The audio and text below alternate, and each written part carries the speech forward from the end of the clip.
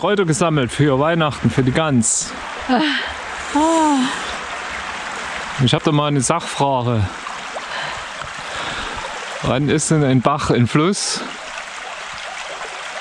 Aha, dieser Bach wird zum Zufluss. Ach, wieso? Das musst du aber begründen jetzt. Ja, der fließt, der, der fließt jetzt in die 19 Talsperre, in die große 19 Talsperre.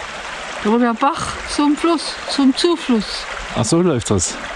Es läuft, So fließt das. es läuft und fließt. Es ist mal interessant.